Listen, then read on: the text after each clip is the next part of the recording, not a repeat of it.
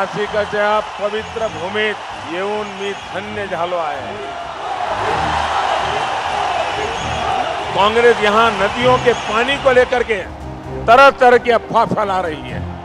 Vote पाने का एक कांग्रेस का बहुत पुराना तरीका है। मैं इस क्षेत्र के लोगों से स्पष्ट कर देना चाहता हूँ कि आप लोगों की इच्छा के खिलाफ कोई कुछ नहीं करेगा। और न ही कुछ कर पाएगा। एचएल के लेकर अफवाह फैलाए रहे अरे, तुमने तो उसका गला घोंट दिया, सारे एचएल को खत्म कर दिया। हमने मेक इन इंडिया के तरह डिफेंस के हर चीज़ का उत्पादन बढ़ा दिया है। नए नए डिफेंस कॉरिडोर बना रहे हैं।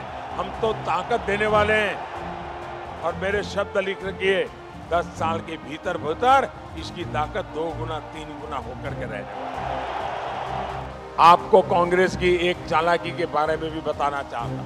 महँगाई बढ़ी तो हाउसवाइफ को पूछो। अगर प्याज, आलू, टमाटर का दाम गिरा तो किसान को पूछो।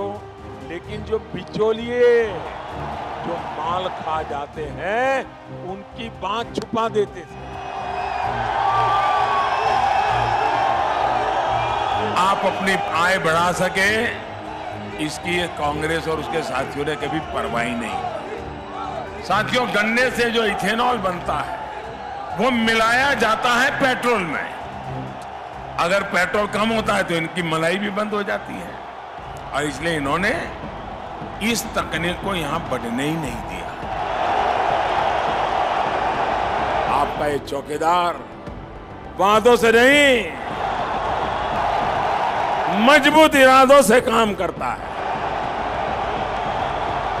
यहाँ राजस्थान में किसानों का कर्ज माफ़ करने का वादा किया गया।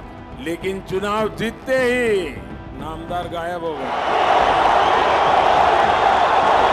भारतीय जनता पार्टी एनडीए ने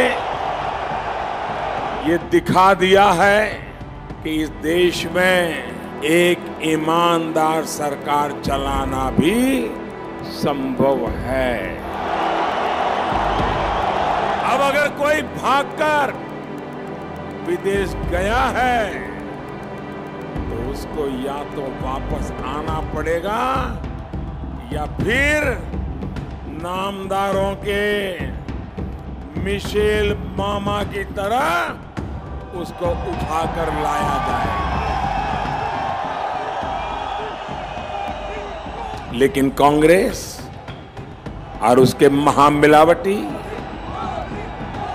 ये कहते हैं कि मोदी को राष्ट्रवाद की, राष्ट्रीय सुरक्षा की, आतंकवाद की इस चुनाव में बात नहीं करनी चाहिए।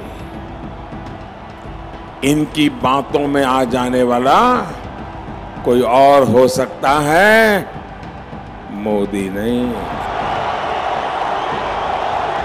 साथियों, दुनिया किसी भी देश को तब महत्व देती है जब आपकी क्षमता उनको दिखती है। हमारे पास संसाधन पहले भी थे, लेकिन पहले देश के संसाधनों का शोषण करने वाली भ्रष्ट सरकार थी।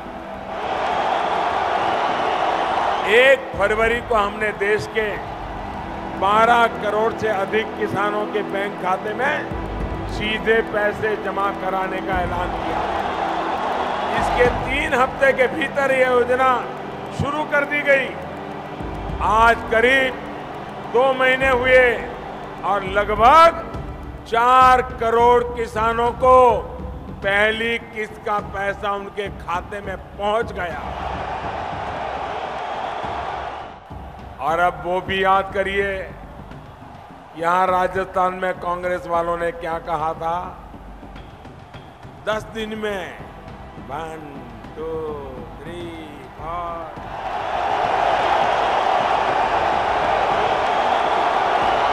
आपको पहाड़े सिखाने आए थे, गिनती सिखाने आए थे।